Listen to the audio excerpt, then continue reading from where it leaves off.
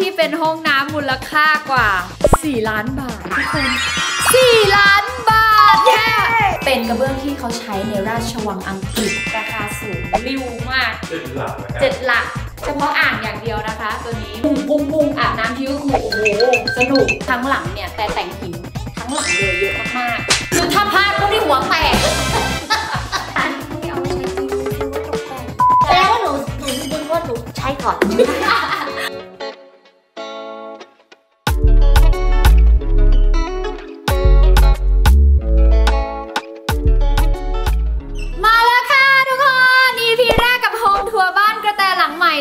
ลายๆคนรอคอยเป็น EP แรกที่เราทำบ้านเสร็จแล้วนั่นเองจริง ๆ เนี่ย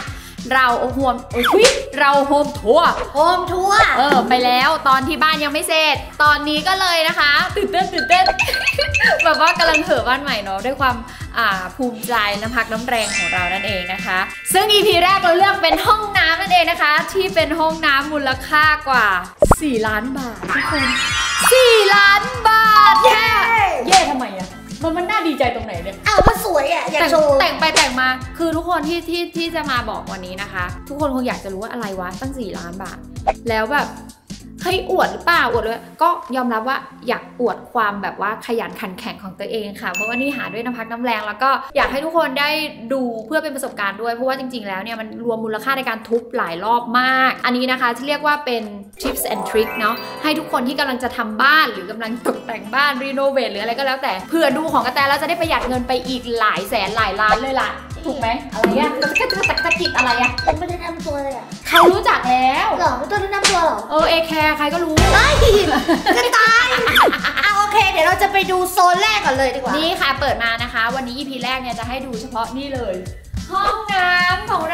รา ถ้ายังจำกันได้เนี่ย EP ที่แล้วที่เราลงไว้ที่เราไปเลือกสุขภัณฑ์กันใช่แล้วที่บุญถาวรนะคะ อันนั้นก็คือ 7 เดือนที่แล้วเลยนะนานมากใช่เดี๋ยวมาดูกันว่าดีไซน์เนี่ยจะตรงกับความต้องการไหม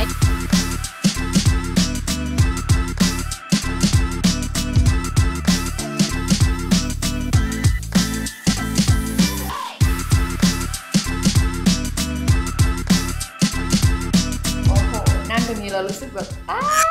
หรอมะห้อง น้ำนี้หลายๆคนคงคิดในใจได้ใช้บ้างหรือเปล่าเนี่ย ก็คือนานๆใช้ที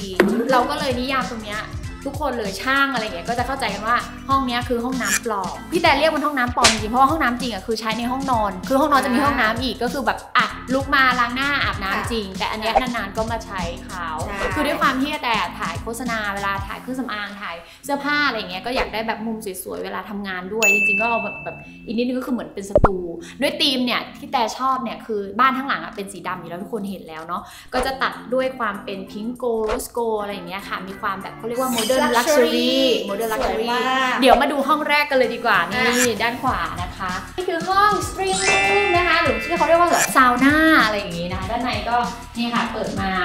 จะมี ห้อง อันนี้ก็คือว่ายน้ำเสร็จขึ้นมานั่งร้อนๆอบอยู่ในห้องนี้ลดน้ำหนักดีมาก คือที่แต่อยากจะพูดนะคะ ขออนุญาตอ่านเลยเพราะว่าอันเนี้ยอยากพรีเซนต์มากที่เราไปเลือกจำได้ไหมกระเบื้องนี้จำได้จำได้ นี่ค่ะ ภาพมันออกมาเป็นแบบนี้ทุกคนเราตัดกับโถส้วมสีดำมันคือกระเบื้องพอสลาโนซาเนี่ยเป็นกระเบื้องอันดับหนึ่งของโลกค่ะ แล้วบุญถาวรเขานำเข้าที่เดียวเลยนะคะ อันนี้ที่แต่ไปเลือกคือถ้าใครแบบความเก๋ความเฟสไม่อยากจะซ้ำใครอะไรเงี้ยก็ต้องแนะนำเลย ตัวนี้นะคะนำเข้าจากประเทศสเปนเนาะลูกเนาะเป็นกระเบื้องที่เขาใช้ในราชวังอังกฤษ สังเกตดูนะคะว่าเขาจะมี detail เยอะมากๆเลยนะคะ แล้วก็เนี่ยเห็นไหม ความแบบเล่นทรงเล่นแสงผนังของมันคือดูแล้วมันแบบโรงแรม 5 ดาว 7 ดาวนี่ และที่สำคัญนะบุญถาวรเขานำเข้าเพียงที่เดียวอย่างที่แต่บอกเลยนะคะ แล้วก็สวยๆเนี่ยเยอะมากต้องไปเลือกดูค่ะ วันนั้นคือไปเนี่ยเลือกไม่ถูกเลย แต่สุดท้ายก็ได้น้องคนนี้มาค่ะ ก็ด้วยความที่อ่านี่สแตนเลสราว pink gold pink goldนะคะ แล้วก็ด้านในอะเปิดเข้ามานี่นะคะ จะเป็นห้องกระต่ายอึ่งกัดเมาอยู่ตรงนี้ตัวหนึ่ง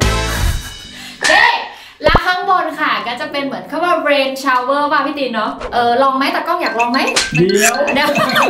มันจะเปียกทั้งห้องเลยด้านบนเห็นไหมคะ แล้วก็ตรงเนี้ยแต่ก็เลือกเป็นเขาเรียกว่าเหมือนแบบอะฝักบัวที่เป็นสีโรสโกคือสวยมาก อันนี้ก็คือพุ่ง พุ่ง พุ่ง พุ่งอาบน้ำทีก็คือโอ้โหสนุกนะคะ ถามว่าตั้งแต่เข้ามาเนี่ยใช้งานไปครั้งเดียวอยู่เลยนะคะ แล้วก็ด้วยความที่มันใหม่มากเรายังไม่ได้ตกแต่งอะไร อันนี้ก็จะเป็นอ่าที่นั่งก็เป็นหิน เราใช้หินแท้หมดเลยนะคะ อันนี้นะคะก็จะเป็นเรนชาวเวอร์จากแบรนด์ Cash เนาะส่วนด้านด้านหน้าเนี่ยมันก็กดได้เลยอุณหภูมิปรับได้เท่าไหร่มันมันสูงได้ถึงเท่าไหร่อะ50 60เลยนะโอ้โหหรือเปล่าไม่พี่ลองแล้ววันนั้นร้อนสะใจมาก พอเสร็จปุ๊บนะนอนสบายมากเธอเป็นลมใช่อะมาโซนนี้นี่เลย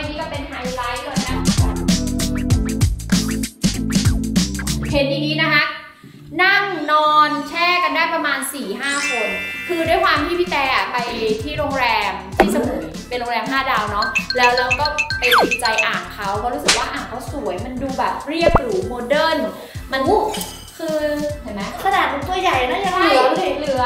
คืออันนี้นะคะจากแบรนด์แคชเหมือนกัน ขออนุญาตบอกเลยว่า ราคาสูงริ้วมากเจ็ดหลักนะครับเจ็ดหลัก เฉพาะอ่างอย่างเดียวนะคะ ตัวนี้มันเป็นอ่างหินเนาะเจ็ดหลักค่ะ แล้วตอนเอาเข้ามาทุกคนลำบากมากต้องใช้รถเครนเนาะยกขึ้นมาจากไอประตูห้องแต่งตัว แล้วเฉพาะไอฝั่งเนี้ยเนี่ยแค่เกาะตัวสแตนเลส rose gold ตัวเนี้ยเกือบเกือบสองแสนแล้วฮัลโหลฮัลโหลอะดีมากฮัลโหลขอผู้ชาย 3 คนนะคะ แล้วก็แชมเปญอีก2ขวดจ้ะอะได้ เดี๋ยวคืนนี้เราจัดเลยเอาโอเคค่ะตุ๊บายเดี๋ยวเราพามาดูบรรยากาศตอนกลางคืน เดี๋ยวฉันจะเอาเทียนมาแบบว่าเออจิบไวน์เบาๆแบบตอแหลตอแหลพี่แต่มีคำถามอะไรอันนี้ทำไมโล่งอย่างนี้อะก็คือมันมีผ้าม่านด้วยความที่บรรยากาศมันก็ดีเนาะมันดูแบบว่าเออแบบคล้ายๆแบบอยู่ต่างจังหวัดบ้านนอกเฮาง่ายมันเป็นต้นไม้เออก็วิวทิวทัศน์นะวัดเอยโรงเรียนเอยตลาดเอยชอบมากเลยนะนี่ช่างกล้องดูนี่เป็นจูดเรามีผ้าม่านไฟฟ้าค่ะ ถ้าเราต้องการความ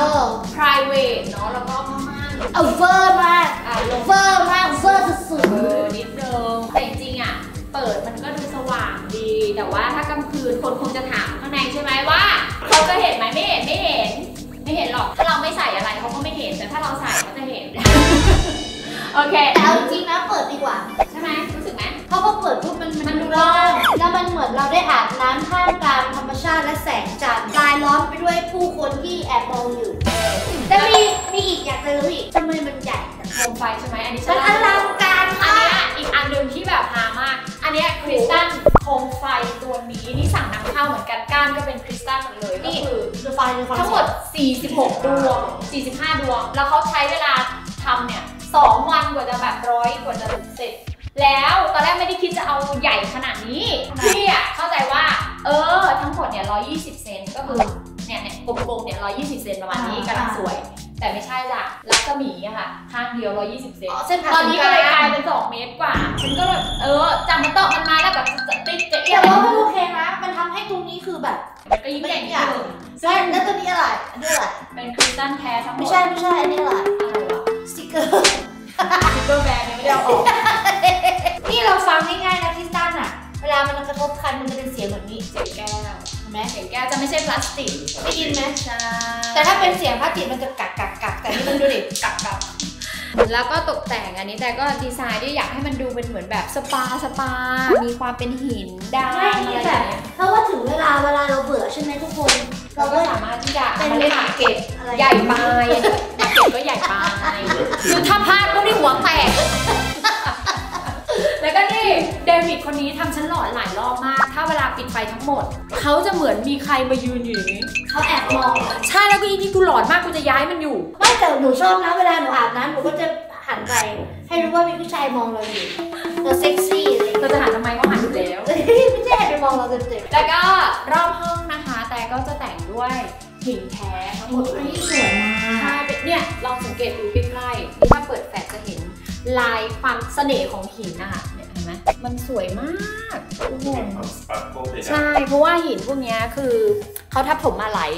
เป็นล้านปีเนาะ แล้วก็แต่ละแผ่นเนี่ยก็จะมีความสวยของเขานี่แต่ก็ไปเลือกเองนะ เดี๋ยวเดี๋ยวเรื่องหินเนี่ยเดี๋ยวขอมาอีก EP นึงเพราะว่าทั้งหลังเนี่ยแต่แต่งหินทั้งหลังเลยเยอะมากๆกระเบื้องเราก็ใช้อ่าของบุญถาวรก็จะเป็นลายหินเนาะแล้วก็ในโซนนี้นะคะด้วยความที่แต่เนี่ยอยากให้มันดูแบบสวนแนวตั้งดูแบบว่า natural ขึ้นมาเป็นธรรมชาติให้มันดู relax มากขึ้นเพราะว่าด้วยห้องเนี่ยมันเป็นโทนโทนดำเนาะก็ดูขรึมขรึมๆแล้ว เรารู้สึกว่าเออห้องน้ำอะพอมันมีความเป็นเขียวเป็นอะไรอย่างเงี้ยมันก็จะดูแบบสดชื่สดชื่นนขึ้นดูเป็นสปาขึ้นมาเรียกมอนสเตล่าเอ้ยอันนี้เรียกว่าเป็น synthetic plant นะคะ ก็คือเป็นสวนแนวตั้ง ซึ่งก็ไม่ต้องดูแลอะไรมากเลย เพราะว่าน้องสวยงามเหมือนของจริงมาก อันนี้จริงๆ ตรงเนี้ยจะเป็นเอ่อโต๊ะสปาปลาเดี๋ยวจะพี่แต่พี่แต่คือชอบนวดไงแล้วก็แบบว่าให้พี่แบบช่างนวดประจำอะมานวดที่บ้าน แต่โต๊ะยังไม่มา อ่าสั่งทำพิเศษ เดี๋ยวจะมาวางตรงนี้ แล้วตรงนี้ค่ะ ทุกคนมองไกลๆอะดูดูดูมันเหมือนมีอ่าเป็นระแนงเป็นร่องเลยใช่ไหมนี่ไม่ใช่ไม่ใช่ระแนงแบบไม้ระแนงนะเป็นกระเบื้อง เป็นกระเบื้องเนี่ยของบุญถาวรวันนั้นพี่เดินไปแล้วพี่เห็นแล้วพี่ชอบมาก พี่รู้สึกว่าเฮ้ยมันไม่ต้องไปเสียเวลาทำระแนง แล้วเดี๋ยวนี้กระเบื้องทำแบบนี้ได้ด้วยอะแล้วทนมากเนี่ยค่ะ แล้วมันเข้ากันมากเลยก็เลยแบบโอ๊ยแล้วชอบสีแบบสีไม้จริงๆเลย เหมือนนะ เหมือนมาก ก็มีริ้วริ้วริ้วเป็นรอยไม้นะ ก็เป็นตัวอย่างเผื่อใครแบบมีสไตล์คล้ายๆกันอยากจะแต่งบ้านแนวๆเดียวกัน แล้วก็มาโซนนี้ก็จะเป็นนี่เลยค่ะ อะก็จะเป็นหินทั้งหมดเลย อันนี้จะเป็นหินโปร่งแสงนะคะ เรียกหินอะไรไม่รู้ เดี๋ยวฉันจะมาบอกอีกทีแล้วจะต้องถามพี่ตายนี่เขาทำดีนะเจ้าของร้านอะเขารู้จักชื่อชนิดหินทั้งหมดเลยพี่แต่ก็ไม่รู้เรื่องเลยพี่ไปเลือกอย่างเดียว ไม่รู้มันเรียกอะไรแต่ว่าชอบมากดูลายพี่หินแต่เขาทำดีนะเขาทำแบบหัวมุมใช่เพราะบางทีเขาทำแหลมนะเกี่ยวแล้วเจ็บเลยใช่อันนี้ก็จะเป็นอ่างหินนะคะเขาเรียกว่าอ่างสองอ่างนี่ก็ his and her เปิดได้ไหม his and her เปิดโชว์ได้ เปิดได้สิ มันเป็นก๊อกอ่างล้างหน้า เราก็ตกแต่งด้วยอะโคมไฟแล้วก็อ๋อกระจกสูงเช้าเนาะเช้าอ๋อสดชื่นอะสดชื่นอะเสร็จปุ๊บเช็ดมือด้วยผ้าเช็ดอะอ่าอะเช็ดมือเสร็จแล้วมาเช็ดหน้าไม่ได้เอาไว้ใช้จริงซื้อไว้ตกแต่ง อ้าว ห้ามใช้ ไม่เคยเห็นหรอที่เขาบอกว่าห้ามใช้จริงอะ อ่างหนึ่งเอาไว้ใช้อ่างหนึ่งเอาไว้โชโอ้ว์ อ่างหนึ่งเอาไว้ใช้อ่างหนึ่งเอาไว้โชว์เอาไม่ใช่ Don't touch my hair เออใช่อันนี้ อันนี้ไม่ใช่ my hair นี่ my คุณนี่ผ้าขนหนูคืออะไรดูนี่อือเน่เน่เน่สามสีเลยฉันสั่งมาฉันก็วางตรงเนี้ยฉันไม่เคยได้ใช้เลยฉันไม่กล้าแตะเพราะว่าฉันเอาไว้ถ่ายรูปอย่างเดียวเราไม่มีได้บุญไม่ได้เอาไว้ทำเพื่อให้ตัวเองดูเวอร์ดูรวยเลย เพราะว่าฉันแบบจริงๆ ฉันอยู่บ้านเดิมฉันก็นอนห้องเล็ก ๆ ของฉันก็ทำงานได้ แต่ว่าอันเนี้ยสร้างเอาไว้ทำงานใช้โฆษณาแสดงว่าหนูหนูมีบุญเพราะหนูใช้ก่อนใช้ได้ใช้ได้เราเล่น ก็ก็จะตกแต่งประมาณนี้แล้วก็จะมีรูปฝั่งนี้ก็เราก็สั่งว่าโอ้เด้งกระต่ายกระกระต่ายชนแม่งเด้งดึงเลยอะโอ้ด้านล่างเราก็จะมีแบบว่าเป็นตกแต่งด้วยความที่ให้เขาดูแบบมาด้วยกันเนาะก็ใส่หินมีเทียนมีอะไรอะไรเงี้ยนี่จะเป็นเทียนไฟฟ้านะเหมือนเทียนอันเสีนี้ยงมีลิ้นชักไหมไม่ไม่มีสิเอาว่ามันมีเนี่ยเอาไว้แบบแขวนผ้าไงอ๋อ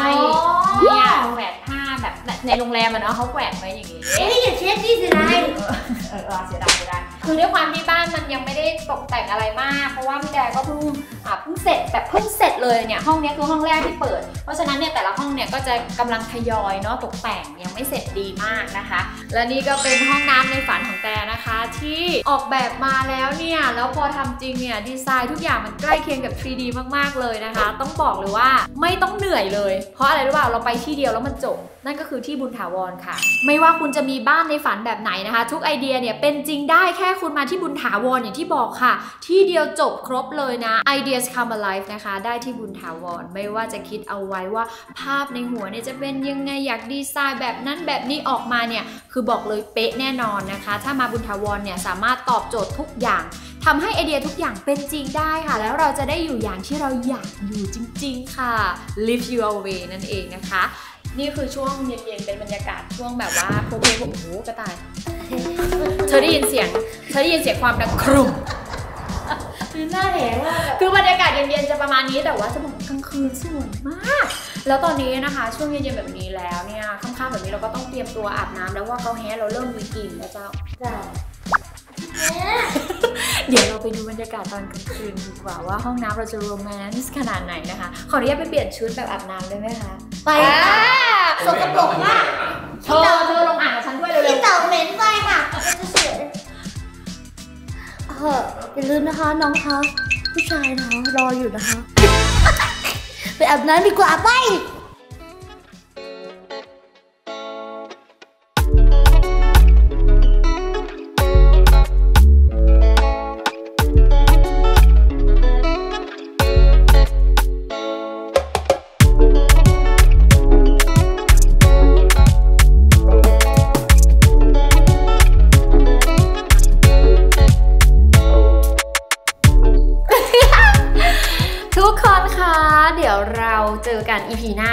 อย่างที่บอกว่าเดี๋ยวจะพาไปดูห้องแต่งตัว work in closet นะคะ แต่วันนี้แม่ว่าแม่เมาเอ้ย